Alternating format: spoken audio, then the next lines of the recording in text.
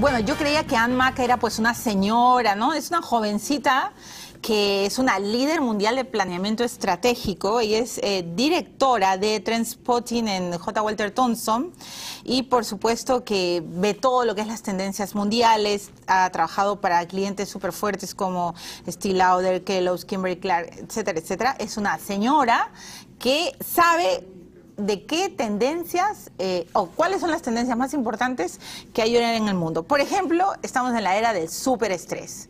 Ustedes que todo el día paran estresadas y que si tienen algo, ay, ese es el que estoy estresada, es el 4, el 5. Hoy día vamos a entender uh, con ANMAC por qué. ¿Por qué estamos en una era tan estresada? ¿Cómo están? Buenas noches. Welcome to Peru. Thank you for having me. Gracias eh, por tenerme aquí. Ann no, Ann no habla nada de español. Yo hablo un, un, inglés huancaíno y you are laughing, yeah, this is good. And I, I will try to, to do my best, but we have a very good um, and a friend of mine, Yubitsa, que es una excelente traductora. Muy bien. Bueno, Anne, ¿por qué estamos en la era del superestrés? ¿Por qué lo calificas así como tendencia mundial? So we are entering this era of super Estamos stress. en esta era del superestrés. Los factores estresores han existido siempre, pero ahora se están multiplicando. Y lo que nos hemos dado cuenta es que el estrés no solo tiene que ver con la ansiedad, sino con un tema que genera costos para los gobiernos, para los empleadores, y es una preocupación médica. O sea, no es un invento. Eh, de, de, nosotros, de los médicos, echarle la culpa al estrés? O sea, ¿tú crees que realmente es una situación que puede afectar en el trabajo, que puede afectar las relaciones personales, que incluso puede afectar las relaciones de un consumidor? Yes, most definitely. Así es, definitivamente. Uno ve que las marcas están haciendo un gran esfuerzo um, por reducir y prevenir el estrés. Un ejemplo viene de North Face, por ejemplo. Se han dado cuenta que los trabajadores tienden a sentir mucha presión por tener éxito, así que trabajan más horas en trabajos muy sedentarios, así que alientan a estos trabajadores a escapar a exteriores y salir, por ejemplo, el fin de semana por lo menos, para descubrir, para liberar para ganar un poco de Y además hay otras marcas, por ejemplo, eh, Nike, ¿no? Que, que, todo el tiempo, no solo el deporte como una... Eh, como un medio para perder peso, para perder saludable, sino como un estilo de vida, ¿no? Como, como que tú puedes hacerlo. El mismo Adidas también está en esta tendencia. Todo para escapar del estrés, ¿no? Y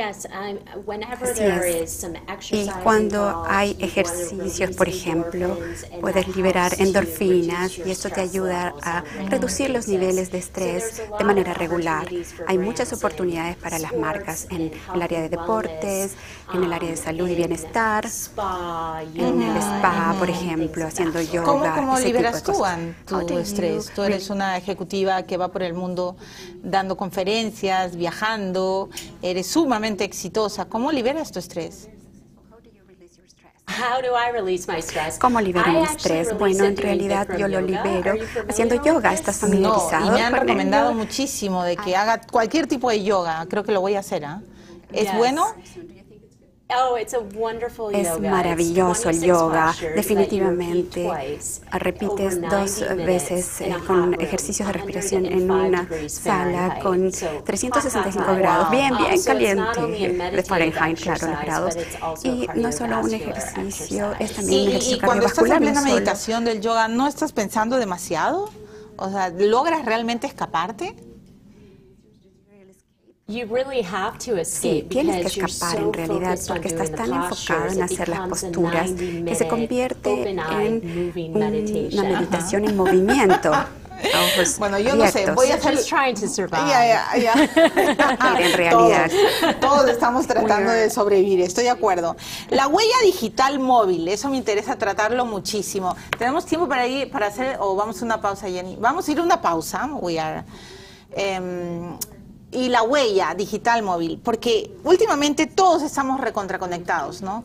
Es más, yo lo vivo a diario con ustedes en Twitter, en Facebook. Digo algo y a veces me malinterpreto, me cae una cadena de, de comentarios. Eh, de hecho, mi mamá dice que la juventud de ahora está absolutamente aislada, que ya ni siquiera conversan, no miran a los ojos, que solo están con el, los aparatos. Vamos a conversar de esto con Anne. Ya regresamos. Me estoy estresando muchísimo. Yeah, because I want to talk with you in English, you know. Yeah. Yeah, but um, I embarrassed because my English is getting worse. I don't. Oh, your English is so much better than my Spanish. Mucho mejor que mi So do you know any word in in in English? uh, in English, I No, know. but no, and I, I'm sorry, in Spanish. Así, así. Así, así. Oh. Me llamo Ana. Me llamo Ana, ok. Me llamo Ana. Hola. Uh, hola, ¿qué tal? Estás aprendiendo. I know Swahili. Es, es Swahili. Swahili. ¿Qué es Swahili. It's a language spoken in Kenya and East en Kenia Africa. y este del Oh, África. Swahili. Swahili. Oh, como estamos hablando el español y pasaste al Swahili. Oh, ¿has estado en África? Have you Yes. been in Africa? I've been to South Africa, but He estado not en Sudáfrica, Africa. pero no en África, en este del África. Pero sí Wow. llevé un And curso en la universidad. It's, it's a relatively easy language, Es un if you idioma bastante fácil en realidad. ¿Me puedes dar algún ejemplo del idioma? Uh, Any examples of the language? Uh, you? Hujambo. Hujambo is hello to Hujambo. you. Habari gani is how are you. Es Ah, como Habarigani. estás, Habarigani. Habarigani. Habarigani.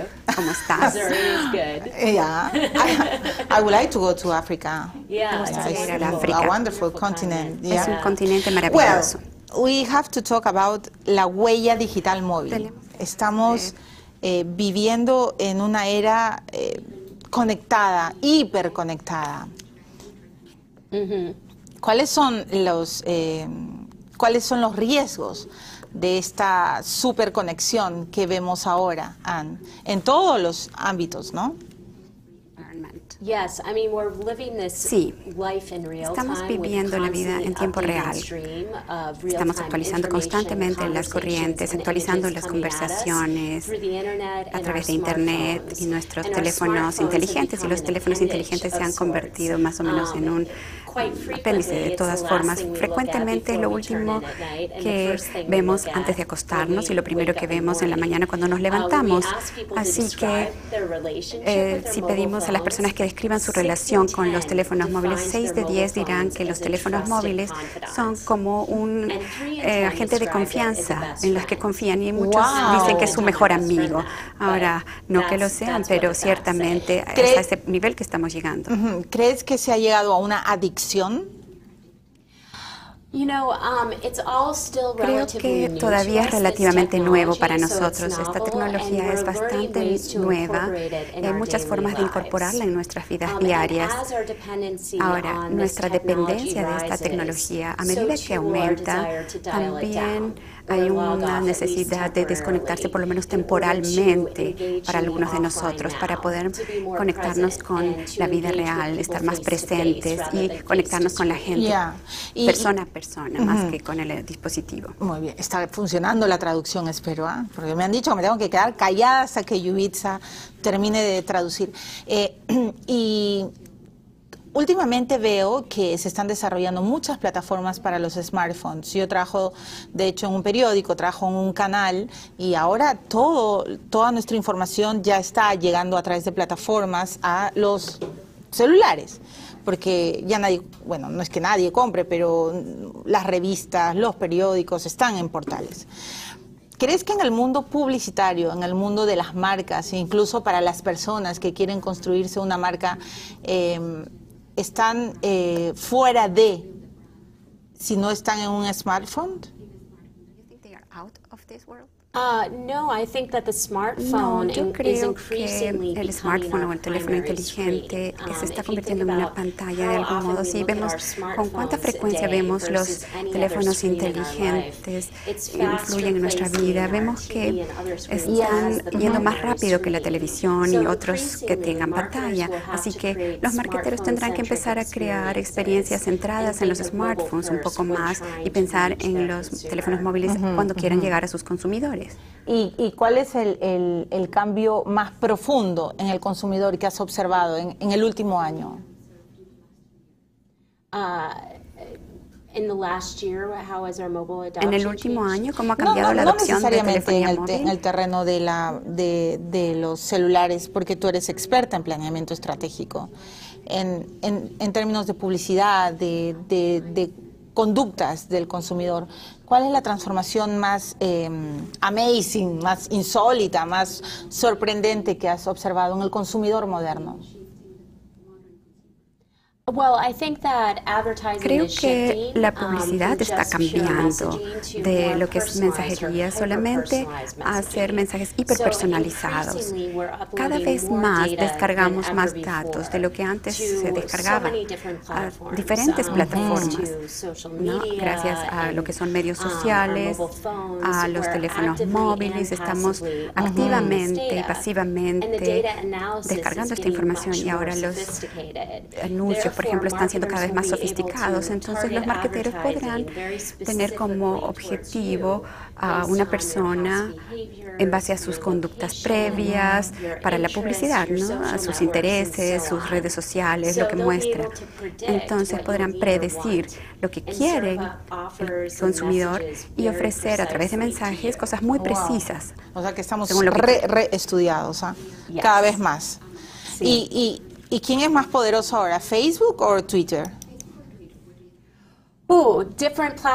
Son diferentes plataformas para um, diferentes propósitos. Twitter tiene que ver más um, con la difusión ¿no? de conductas en tiempo real, mientras que Facebook tiene que ver más con conectarse con amigos y familia o miembros de la familia. Y con las fotos, bueno, proponer videos, todo lo que es súper diferente, ¿no? Bueno, señora Ann, eh, lamentablemente ha terminado el programa. Bienvenida a Welcome to Perú. Y I hope we can see us again. Yes, thank you. Espero verte otra vez. Muchas thank gracias you, Anne. bueno, ha sido Anne, líder de planeamiento estratégico. Qué joven, francamente. Yo pensé que me iba a encontrar con una señora mayor. Pero me alegra, la juventud ahora, pues yo siento que ahora los bebés nacen hablando, caminando, este, a, los, a los dos meses ya, ya funcionan con el iPhone. El otro día, mi sobrinita, cuando mi sobrinita tenía dos años y puso, eh, presionó el, el, el, CD para, bueno, el DVD, etcétera, me dijo, ay tía, pero no sabes hacer esto. Y tenía dos años. Una... En fin, yo ya me quedé. Pero los jóvenes como Ann son bienvenidos al mundo cibernético, al mundo virtual, al mundo conectado. Muchas gracias por, el, por estar hoy día en el programa y mañana, mañana regresamos con, con política, ¿no? Mañana. Uy, sí, ah, mañana no se pierdan la entrevista que tengo para ustedes.